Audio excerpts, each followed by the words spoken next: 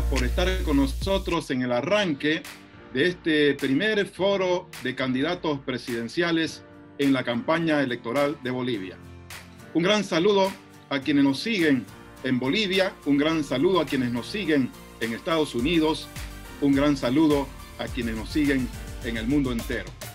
Este es el primer foro virtual presidencial de candidatos aquí en Bolivia en el marco de la campaña presidencial.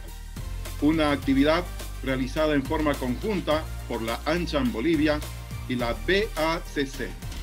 Vamos a presentar a nuestro primer invitado de la noche. Nuestro primer invitado que es Jorge Quiroga.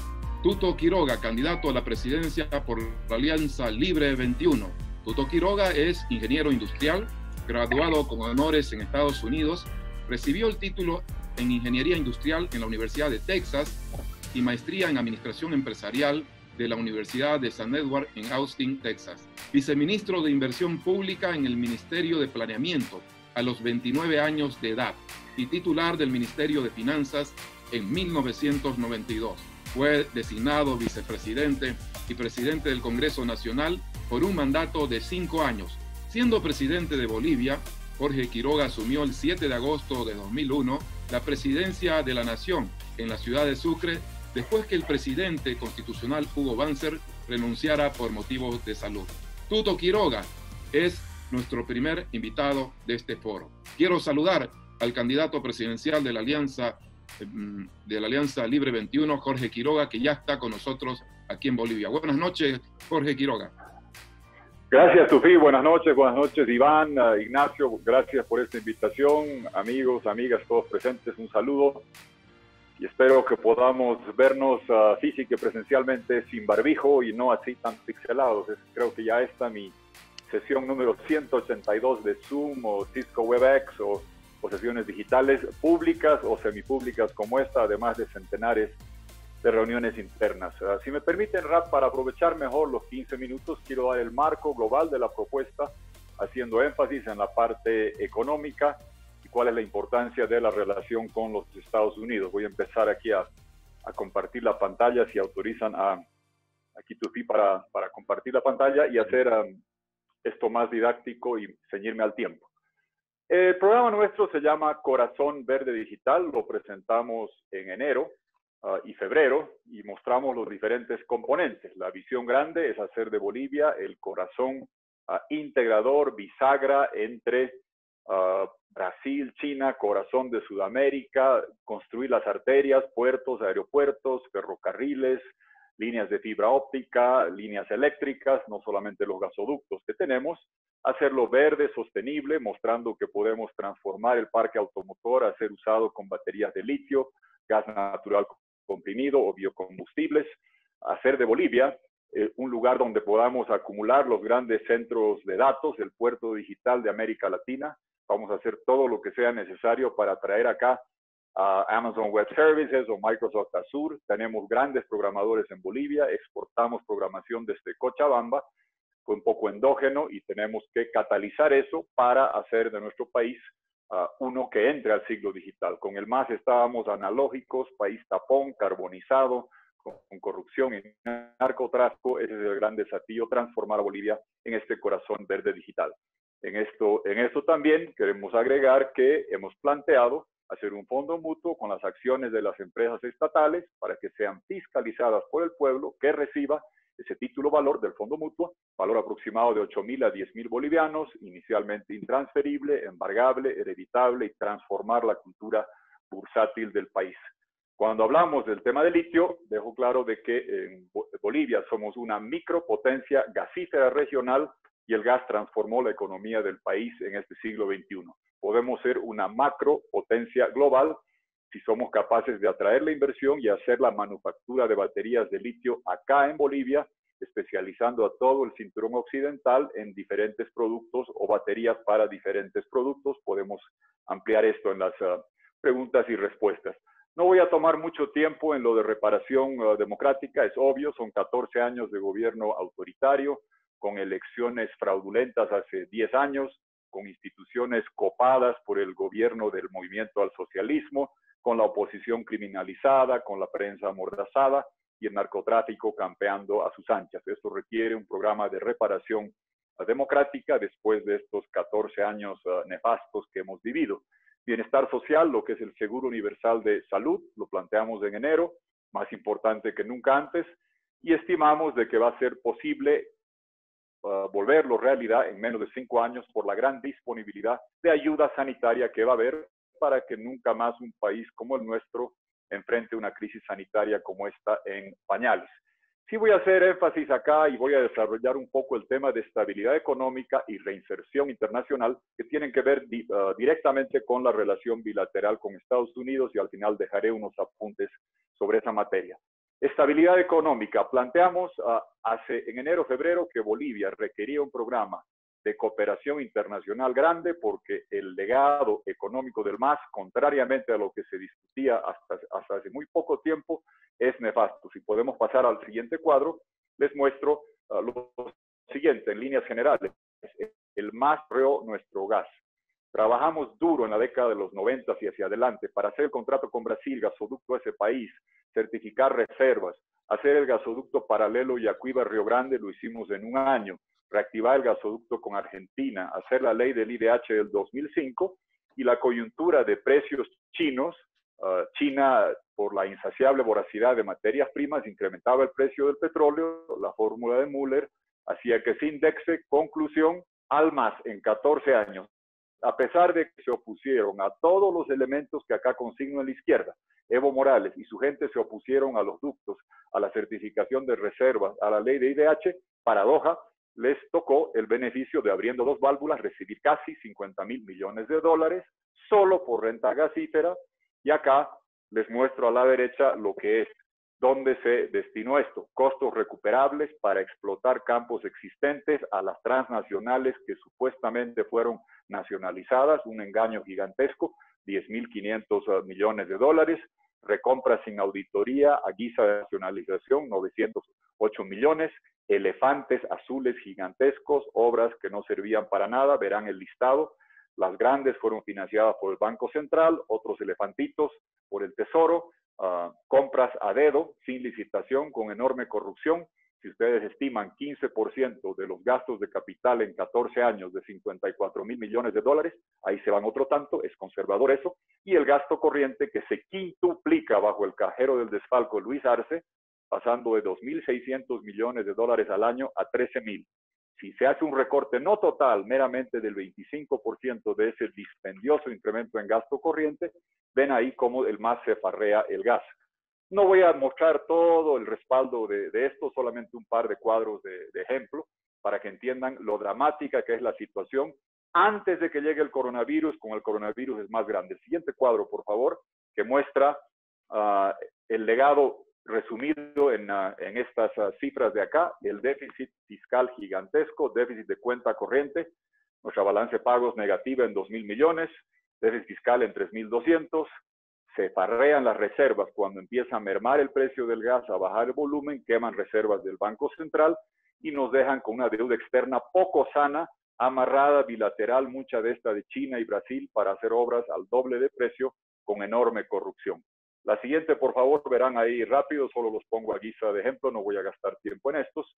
Uh, está, tenemos todo respaldado en la presentación del programa de gobierno. Ahí está costos recuperables a las empresas extranjeras, transnacionales, vilipendiadas, insultadas, les devuelven para explotar campos absolutamente todos sus gastos. En las dos siguientes pueden ver los elefantes uh, azules, lo que fue el Banco Central y el FIMPRO, caja chica del señor Luis Arce, para financiar fábricas de miel, de papel, piscícolas, satélites que ni se ven ni se sienten y todo un cúmulo de proyectos. Sé que es muy pequeña la letra, pero ahí están. Y esto era con el Banco Central, con el TGN, estadios, aeropuertos en el siguiente cuadro. Pueden ver estadios, aeropuertos, palacios, sedes de UNASUR, aviones, museos faraónicos. En fin, se van otros 500 millones de dólares. El punto central, esta bonanza de abriendo dos ductos, recibir ingentes cantidades de, dinero, poder prescindir de la cooperación externa terminó. Recibíamos 500 y pico millones de dólares al mes hace cuatro o cinco años. A fin de año estaremos recibiendo 75 millones de dólares al mes. Evo Morales dejó explicar, eh, dejó eh, expirar los, los um, contratos de gas con Brasil y no fue renovado. Hoy tenemos menores precios, menores volúmenes. ¿Qué es lo central que venimos planteando? Que se necesita, se requiere un programa de recuperación por todos estos factores y agréguenle la recesión del coronavirus y el brutal impacto que va a tener en el desempleo, en el colapso de empresas, si no hacemos una inyección externa de recursos que todos los países están haciendo. Al siguiente cuadro, por favor, ahí pueden ver lo que denominamos recursos de reactivación provenientes de fuentes multilaterales, recursos que tienen las AFPs en el exterior, swaps que se puedan hacer con bancos centrales, créditos bilaterales, emisión de bonos verdes o de metas del milenio sostenibles o bursátiles en mercados, donaciones que se pueda captar. Esta es la primera prioridad para garantizar la estabilidad del sistema financiero, evitar sobresaltos cambiarios y que la recesión del coronavirus agregada a este nefasto legado nos lleve a un colapso brutal de empresas y de generación de desempleo. Esto se requeriría hoy. Este gobierno de transición no lo va a poder hacer. Espero que se regenere la gobernabilidad suficiente para entre Congreso y Ejecutivo por lo menos poder hacer el 10 a 15% de esto. No voy a gastar demasiado tiempo, esto lo hago en el siguiente cuadro. Se destina a esto, hay que ver el sistema financiero integralmente para que los recursos lleguen a las empresas, para que lleguen a preservar empleos, hay que ver la parte de liquidez, la parte de patrimonio, la parte de mora, se tiene que crear un fondo cerrado para capitalizar empresas, como han hecho en Europa, como están haciendo en Estados Unidos, pagar toda la deuda flotante, aliviar los impuestos, generar programas de empleo, de apoyo al desempleo, uh, fortalecer la parte sanitaria y la economía, uh, la parte sanitaria junto con uh, la parte económica. Vamos a tener una crisis sanitaria aún latente en el próximo gobierno y una brutal uh, crisis económica. Junto con ello, lo que es la economía naranja, gastronomía, turismo, son los sectores más duramente golpeados y además de que están incluidos en los otros programas, van a requerir un acápite especial.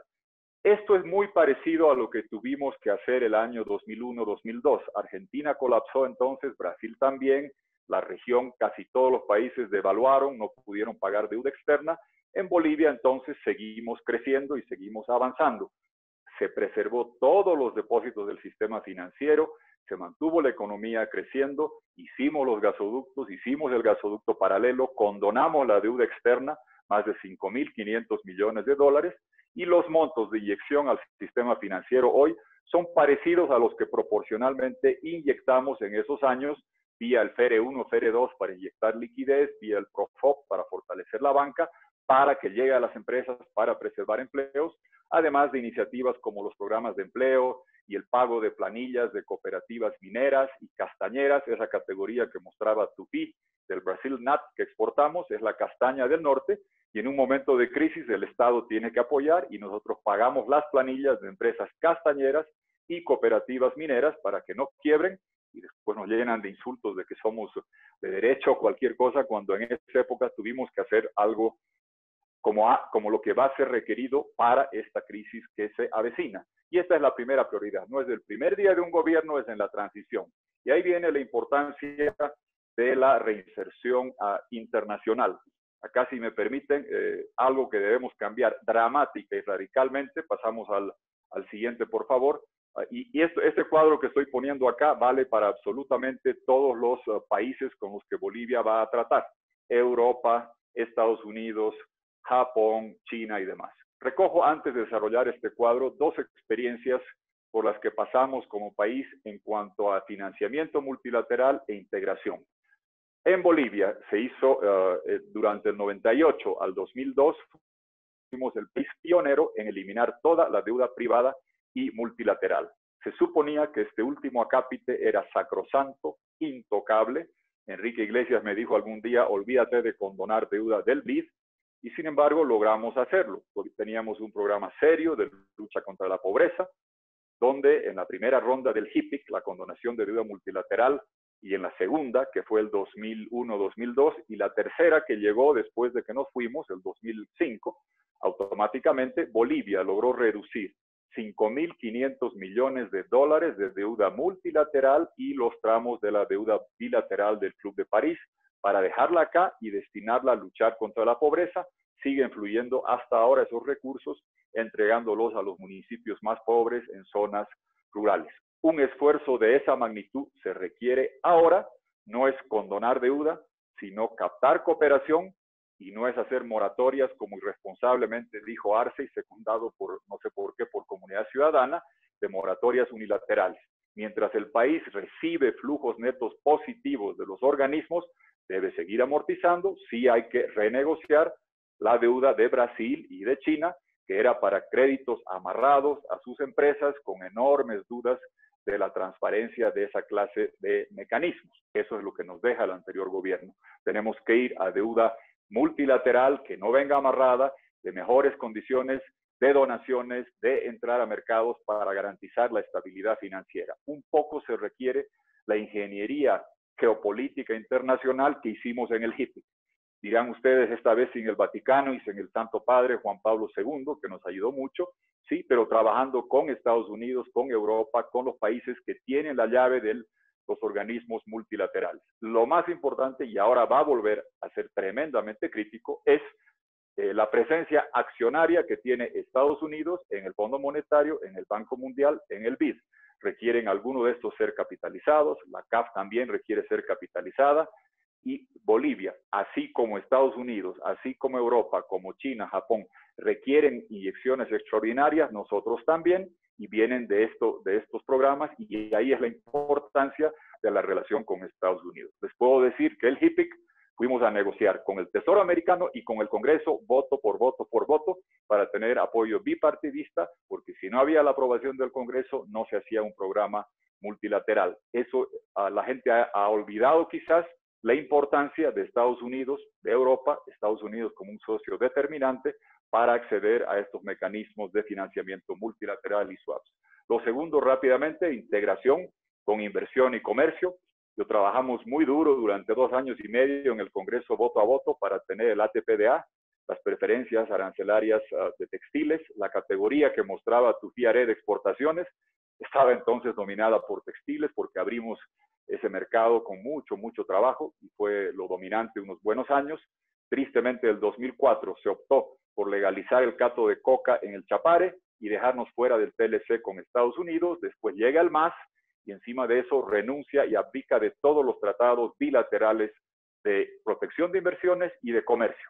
Y prefiere alinearse a ALBA, a Petrocaribe, a UNASUR y toda esa ensalada de letras donde compartían prácticas autoritarias y se cerraban al comercio. El esquema venezolano y boliviano fue igual.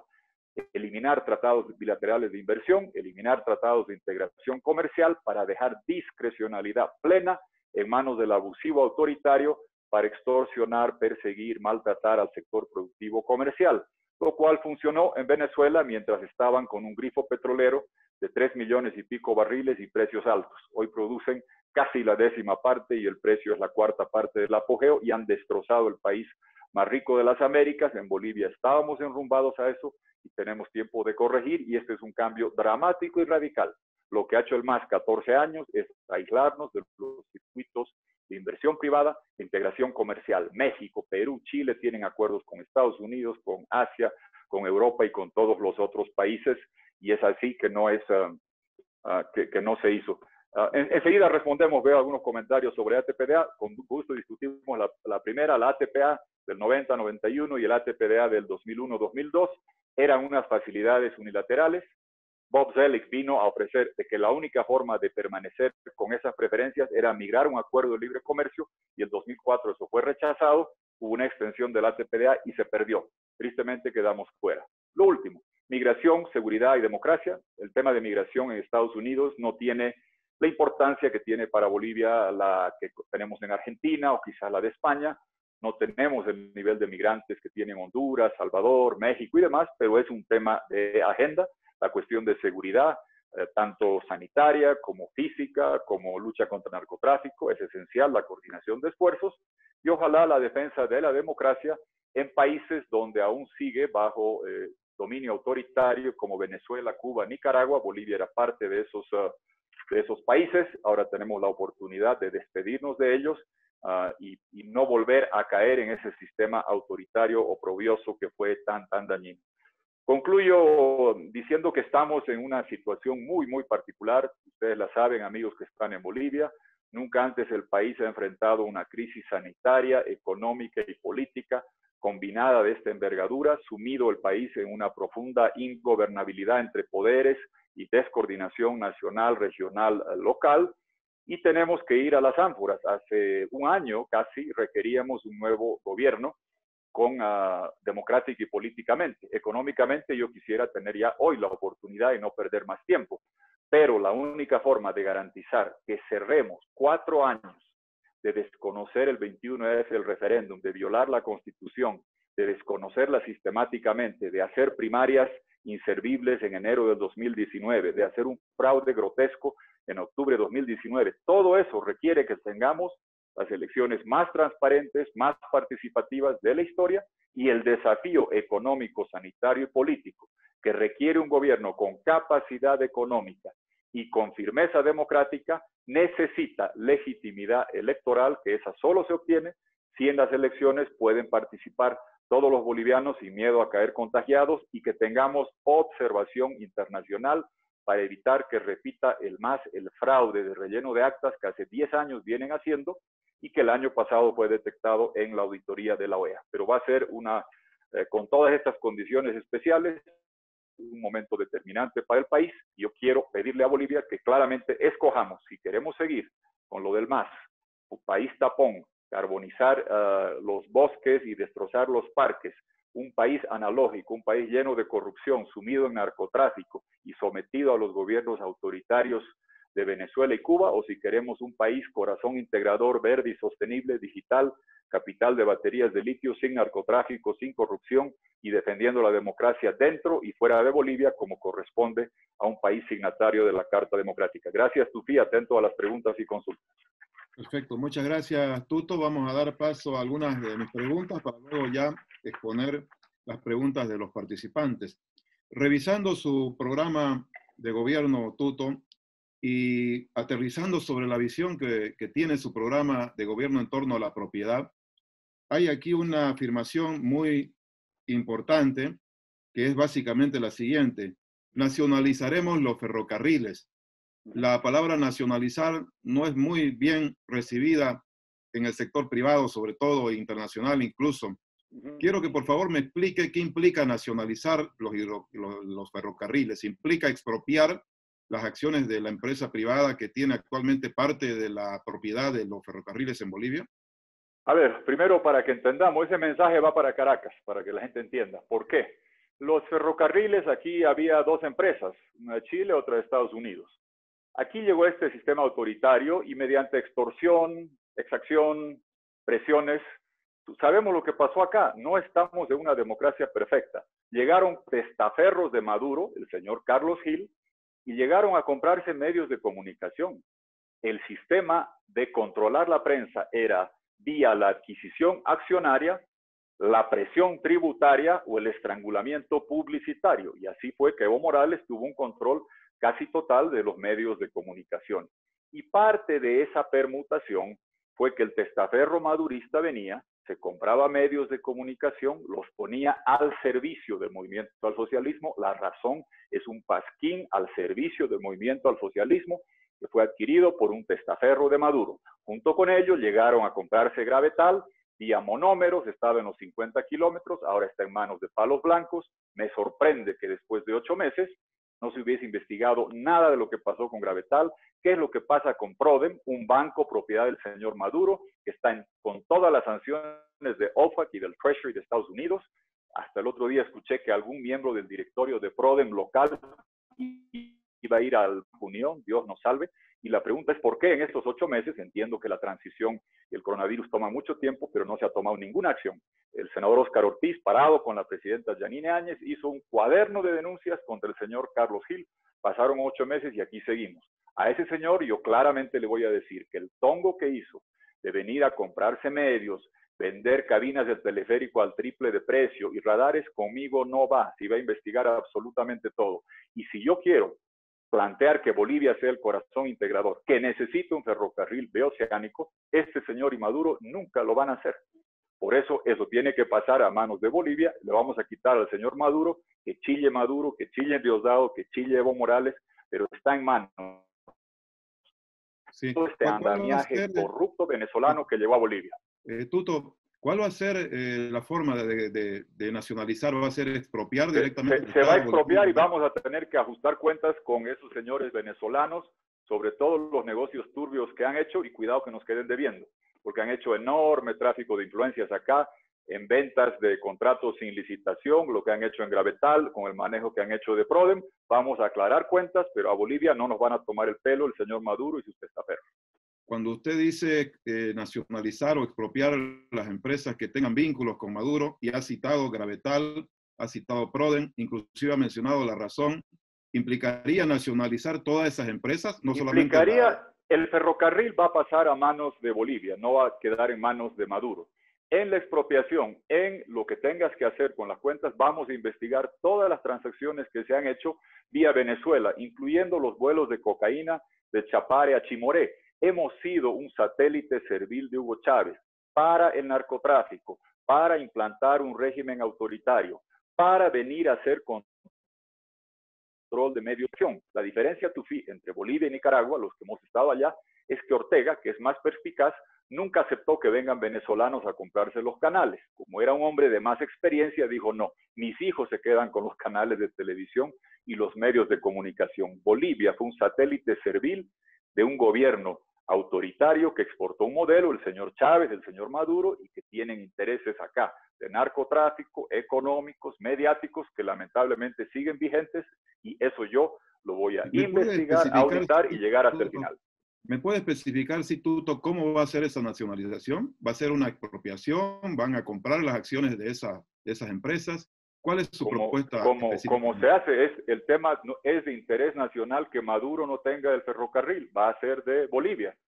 Sí, hay que ver las inversiones, que se hacer todas las victorias, pero públicas, no como hacía Héctor Arce con Kiborax, Héctor Arce, el ex ministro de Don Evo Morales, que aparecía haciendo nacionalizaciones por mucho más del monto que existía. Y dentro de eso, Tufi se tiene que investigar y auditar todos los negocios que han hecho pestaferros maduristas en el país, viendo toda la cadena de cómo se ha procesado esto para que los venezolanos sepan que a mí no me toman el pelo.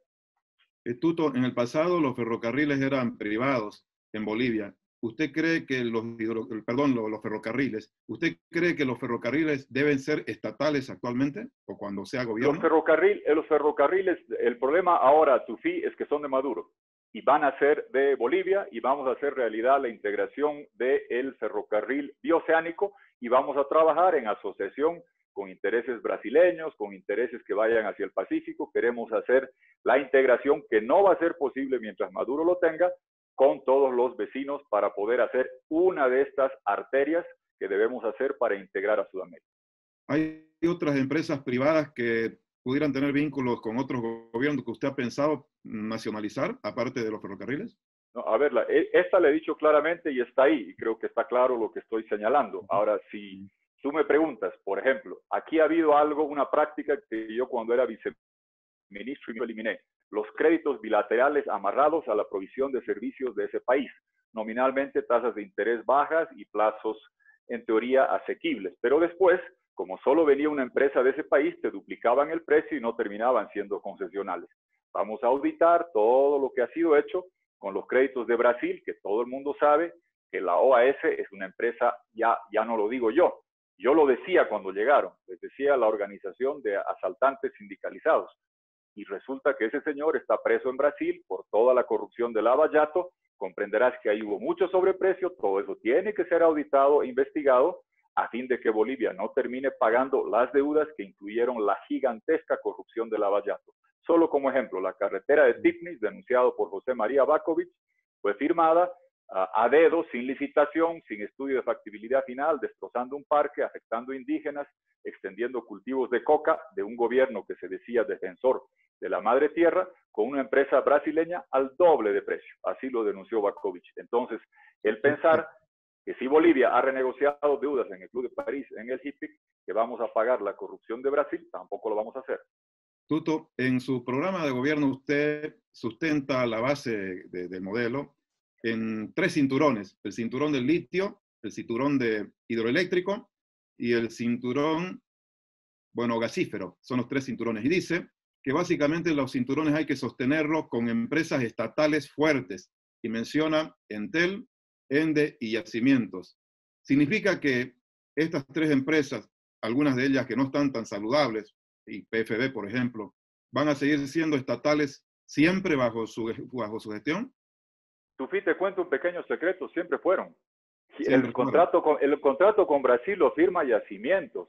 Evo Morales, ¿por qué ha dejado desvencijada Yacimientos? Porque da una ley de costos recuperables, dicho sea de paso, no hay una sola empresa americana ni en servicios ni en petróleo, y les da la ley donde les devuelve absolutamente todos los gastos a cualquier empresario que me diga si el gobierno le ha devuelto sus impuestos, viajes, viáticos, planilla, costos de luz, agua, teléfono. No. Acá, después de la rimbombante nacionalización, se aprobó una ley de costos recuperables para ordeñar las vacas gasíferas que ya estaban descubiertas, no para explorar nuevas, y nos han dejado con la situación que mostré, que la tengo en mucho detalle. El MAS se el gas. Hugo Peredo y Yacimientos con Herbert Müller hicieron el contrato que transforma la economía de Bolivia con Cardoso a pesar de Petrobras. Esa fue la realidad que cambió.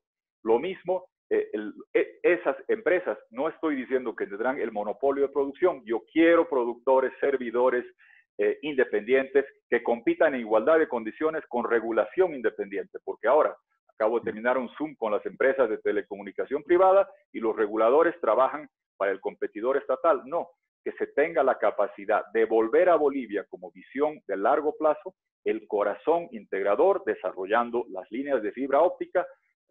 Vamos a renegociar los contratos con Argentina y Brasil, que están hechos a gusto del cliente, y volver a Bolivia el corazón verde digital, abriendo a la inversión privada, pero así como Yacimientos fue el que catalizó el volver a Bolivia el corazón gasífero, lo mismo debemos hacer con eh, los sectores de electricidad y telecomunicación. Permítame entender mejor su visión de lo estatal y lo privado, Tuto. Una de estas tres empresas que usted plantea en su programa de gobierno que deben seguir bajo tutela estatal era Entel. En el pasado fue privada, no fue estatal, ¿no?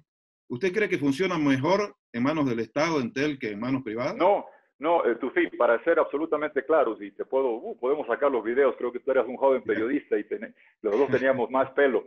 Uh, yo soy enemigo de los monopolios. Eh, entonces recuerdo que el gobierno que trajo a los italianos le dio monopolio de cinco años y me puse a rajatabla, porque eso uh, evitó el desarrollo del sector. Yo lo que estoy planteando es que para Bolivia ser el corazón integrador, tengamos empresas que traigan asociación, que permitan un marco libre para que vengan empresas petroleras a invertir, para que vengan más empresas de telecomunicaciones, para que venga Amazon Web Service a abrir el país y tiene que haber una, una forma, un mecanismo de garantizar. Por ejemplo, vamos a ir a la educación digital.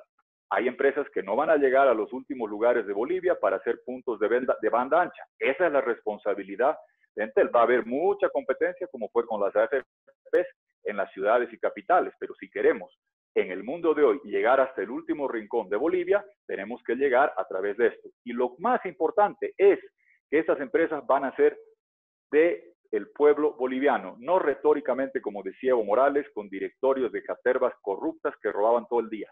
Para entrar a un fondo mutuo, 80% de las acciones se van a distribuir, el valor inicial 8 mil a 10 mil bolivianos, para que Evo Morales no se olvide, se va a llamar PITITA, propiedad eso, eso quiero preguntarle, individual de título accionario.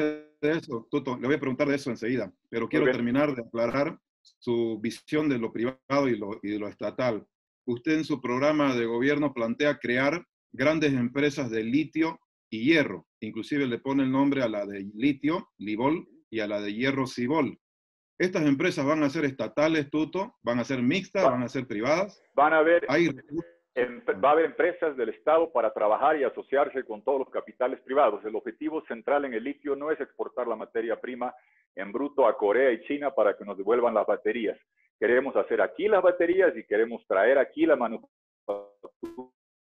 de baterías, una de las primeras responsabilidades es hablar con Argentina y Chile para no canibalizarnos en el precio y poder generar acá la industrialización. Es la última gran oportunidad, el catalizador para que pueda ingresar en esto y generar la cadena de atracción de inversión para aquí hacer las baterías de celulares, aquí las baterías de computadoras, es poder hacer ese desarrollo, como lo hizo Yacimientos ah, para hacer el gas. El gas pasó acá y la gente quizá lo olvida, mucho antes que llegue el MAS, porque Yacimientos tenía buenos campos, buena buena, buenas oportunidades, e hizo un contrato con Brasil que transformó todo, y Yacimientos es el que trajo la inversión y se asoció como pasó. Y la mejor prueba de que eso estaba bien hecho es que Evo Morales no solamente que mantuvo eso, sino que se, eh, se excedió con la ley de costos recuperables. Permítanme entonces terminar de aclarar empresas mixtas, participación privada y participación estatal, algo parecido a lo que fue la capitalización de las empresas. No, no, porque esa era una empresa existente donde se hizo una rebaja de regalías y hubo demasiados problemas. Aquí, la oportunidad cuál es? Para que lo enfoquemos en la parte, con un ejemplo, en la parte del litio. Hay que desarrollar el litio. La inversión inicial para que esto arranque hay que hacerla con el Estado asociándonos ah, con capitales de otros países para que arranque la producción de litio.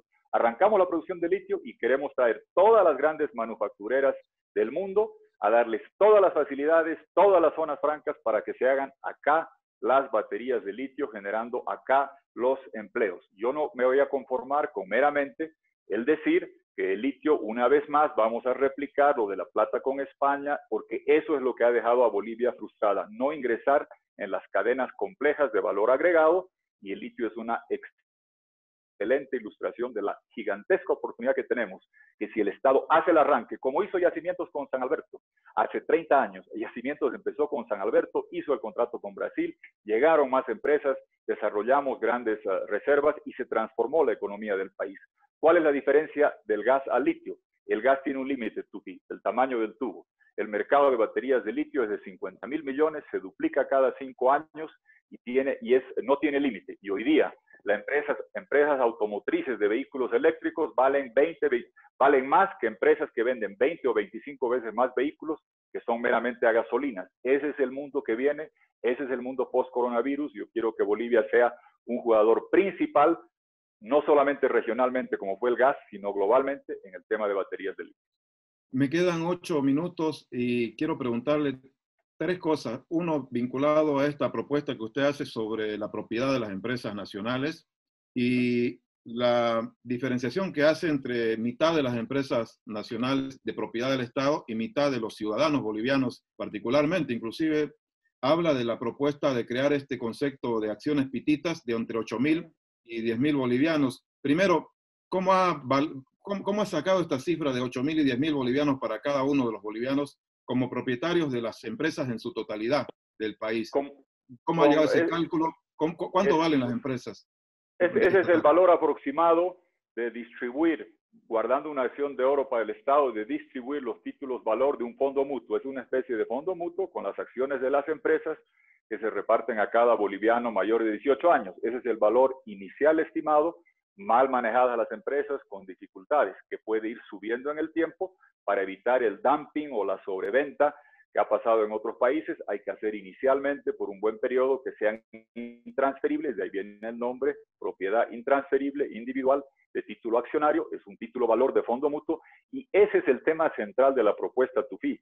Eso es lo que transforma la cultura económica de Bolivia, para que no sigamos con un gobierno que nos dice que algo es del pueblo y maneja Santos Ramírez y Yacimientos, que dicen que es del pueblo y una caterva de masistas que compran uh, cosas con sobreprecio en Entel. El pueblo a ser dueño, el pueblo fiscaliza, el pueblo tiene el derecho propietario, todos somos agentes económicos bursátiles, sujetos de garantía de crédito y agentes económicos activos. Habla de 8 mil a 10 mil bolivianos por precio de cada acción para cada boliviano. Y una de, las funciones, de los objetivos es, por ejemplo, que sirvan de garantías para contraer créditos. ¿Cómo piensa blindar Tuto eh, para que sean intransferibles realmente las acciones y no terminen en otro lugar? Bueno, justamente porque las estamos determinando para evitar lo que pasó alguna vez en Rusia y evitar el dumping mientras maduren los mercados, porque nuestros mercados bursátiles son tremendamente inmaduros transa mucho título de renta fija, muy poca cultura bursátil, hay 50 unitis aguda todavía del sector empresarial y para poder lanzar esto sin que se haga el dumping y venga un amigo ahí a decirme compro todas las acciones que sean intransferibles, sean embargables, hereditables, va a haber codificación especial de cómo hacer esto y eres sujeto de crédito con eso. Evidentemente, si no pagas, se queda como bien adjudicado del banco y el banco se cobrará con los dividendos hasta que, hasta que se pague la deuda que no pagaste y después de los años que fuesen, te podrá devolver el título, pero mientras estés en mora y pase a ser bien adjudicado, se lo maneja de esa forma. ¿Qué es lo que buscamos crear? ¿Qué es la, frustración de la gente joven, Tufi? Dicen, no soy sujeto de crédito, no tengo garantía, no tengo absolutamente nada. Lo otro es que no tenemos la cultura bursátil de el sentir que la propiedad, los dividendos, las acciones, fiscalizar qué está pasando, no se ha desarrollado solo se trata de transa títulos valores. Gran parte de lo que se transa hoy, como tú sabes bien, es la liquidez de la AFP, donde hemos distorsionado el maximizar la jubilación a través de la inversión privada de la AFP, porque Evo Morales y el MAS le decían a la AFP que solo puedes invertir en títulos del TGN y no en el desarrollo de una cultura bursátil. Entonces, ahora estamos con la frustración que las AFPs no rinden suficiente porque el movimiento al socialismo las ha empezado a usar para hacer ah, populismo crediticio, obligándolas a invertir en títulos valor muy bajos, obligando a la banca a prestar a títulos que el MAS determinaba que debían recibir recursos y la mora de esa cartera es cinco o seis veces más alta que la otra. El MAS se gastó el gas y después empezó a hacer populismo crediticio y ah, evitó el desarrollo pleno de lo que es un mercado bursátil. Tuto, usted hacía en su presentación una descripción de elefantes blancos. Entre esos elefantes blancos hay, hay empresas que usted va a cerrar si es presidente porque no se justificaron. Por ejemplo, Ingenios a Buenaventura, en La Paz, uno de ellos. No sé cuál es la visión que tiene sobre la planta de Uria, que está funcionando a medias. ¿Qué va a hacer con todo esto? ¿Usted los considera elefantes blancos? ¿Los piensa cerrar? ¿Los piensa reactivar? ¿Reestructurar? ¿O qué tú? La, lista es larga, Tufi, y varía de caso por caso. Obviamente una cosa es la de Uria, otra es la del ingenio, otra cosa es la piscícola, la de miel, la de Kipus no sirve, es decir, eh, ahí está la lista, por eso la puse, y va, variando. Hay sectores que podrán tener viabilidad, hay que entrar a ver caso por caso. Yo no entro con machete indiscriminadamente, pero sí te puedo decir que la única forma que el Estado vea esto es que tengan viabilidad y si no la tienen, chao. Y sabemos que ha habido enorme cantidad de emprendimientos que lo único que buscaba el cajero del desfalco, Luis Arce, es dar contratos para empresas, para amigos que hagan compras gigantescas. Creo que este es un tema que la gente no termina de comprender, Tuti. El gobierno del MAS todo lo adjudicaba sin licitación a través de fideicomiso. Te trae un fideicomiso para una obra, para la otra. ¿Para qué? para que no hagas licitación de acuerdo a la ley SAFCO, para que puedas adjudicar a dedo, todo está inundado de corrupción y muchos temas inservibles. Eh, Tuto, un tema importante, impuestos. Usted mencionó también en su presentación y en su plan de gobierno habla de simplificar impuestos. Me quedan dos minutos para mí. ¿Qué piensa hacer al respecto? ¿Qué, quiere decir con simplificar impuestos? ¿Eliminar? te, lo digo, te lo digo claramente en la forma que lo hemos planteado y le hemos agregado una etapa. La primera es alivio tributario, lo viste rápidamente en uno de los cuadros, y es imposible que a sectores como hoteles, aeronáutica, restaurantes, pretendas que paguen la alícuota tributaria completa cuando han tenido tres meses de ventas este año y el próximo año no se sabe. Requieres hacer inyecciones de capital de trabajo, preservar los empleos, ayudar a los sectores más golpeados, en particular aquellos que dependían de aglomeración de viajeros, turistas para su modelo de negocio, centros comerciales, hoteles, gastronomía, tienes que hacer esa inyección, dar el alivio tributario. Primer paso. Segundo, institucionalizar el servicio de impuestos. Está hoy privatizado por la corrupción. Impuestos y aduana. Lo hice el 2001-2002 con Amparo Vallivian la aduana, con Eduardo Segada impuestos, ¿recuerdas? Con Bacovich el servicio de caminos, darle una base institucional y después hacer la reforma impositiva para pasar de un sistema de impuestos indirectos que es eficiente en recaudar, pero que termina castigando al productor, al exportador y no da los alicientes para transformar la inversión. Entonces, primero, alivios, segundo, institucionalizar las entidades recaudadoras y tercero, la reforma. Y mientras tanto, y en el inicio hemos puesto esto, muchos pasos, como por ejemplo, evitar la doble tributación a la inversión extranjera, que le presumimos que todo, y presumimos que deben pagar dos veces la utilidad o la exportación de impuestos o el impuesto de transacciones como piso fijo al impuesto de utilidades. En Bolivia nunca hubiéramos tenido Amazon, Airbnb, ninguna de esas empresas cuando tienes un impuesto ciego como piso al impuesto de utilidades. Muchos de esos temas van a ser parte de lo que hagamos desde el principio y una reforma integral al sistema de impuestos. Nuestro agradecimiento, Tuto, por participar como primer candidato en este ciclo. Le doy un minuto más si usted quiere eh, despedirse de, nuestro, de nuestra audiencia que tenemos aquí, tanto en Estados Unidos como Bolivia y otros países del mundo que están siguiendo este espacio. Tiene, por favor, un minuto para cerrar ya Muy bien. la intervención. Bueno, gracias, gracias, Tufi. Un abrazo a todos. les agradezco a Ignacio, Iván, Ignacio y Tufi se han venido con corbata. Nosotros en, el Zoom no hay que usar corbata, así nomás andamos. Les agradezco. Miren, uh, Bolivia durante 14 años estaba bajo la égida y tutela de los gobiernos autoritarios que se cerraban al mundo económicamente y que exportaban autoritarismo. Preferían enviar insultos que enviar productos. Yo creo y he practicado el tener marcos para atraer inversiones con todos los países, en particular con Estados Unidos, que es la economía más grande del mundo. Trabajé mucho tiempo para abrir las facilidades comerciales. Me dolió ver que nos quedamos fuera y que Perú, que les quiero confesar, gracias a una gestión que hizo Moreno, el embajador de Colombia, después presidente del BID, y quien habla, Perú la mantuvimos en el ATPDA. Y después, para envidia mía, ellos terminaron usando las facilidades comerciales y nosotros rezagados. No podemos seguir perdiendo el tiempo. Eh, durante 14 años hemos tenido una Bolivia tapón, autoritaria, con narcotráfico, con corrupción analógica. Es hora de proyectar la Bolivia corazón integradora, verde, sostenible, digital, sin narcotráfico, sin corrupción, ah, entrando al mundo ah, del siglo XXI con apertura comercial, con atracción de inversiones y en eso, sin complejos, Bolivia estará ah, acá para hacer acuerdos con todos los países, incluyendo Estados Unidos, en todos los frentes, integración comercial y garantizar que tengamos un país boliviano que sea socio confiable y que no sea el lugar donde a, nombre de defender el tráfico se expulsa a las inversiones y comercio que el país requiere para el desarrollo sostenible. Muchas gracias a todos y hasta la próxima. Gracias, Tupi. Gracias, Iván. Gracias. Gracias, Tuto. Candidato presidencial por Libre 21 estuvo con nosotros. Se nos cumplió el tiempo. Quedaron varias preguntas. Le vamos a hacer llegar a Tuto vía interna para que a lo mejor pueda responderla. Los invitamos mañana en este mismo espacio con el segundo candidato de la semana, con Luis Fernando Camacho. Siete de la noche estaremos con él. Hasta mañana. Gracias por la atención. Gracias.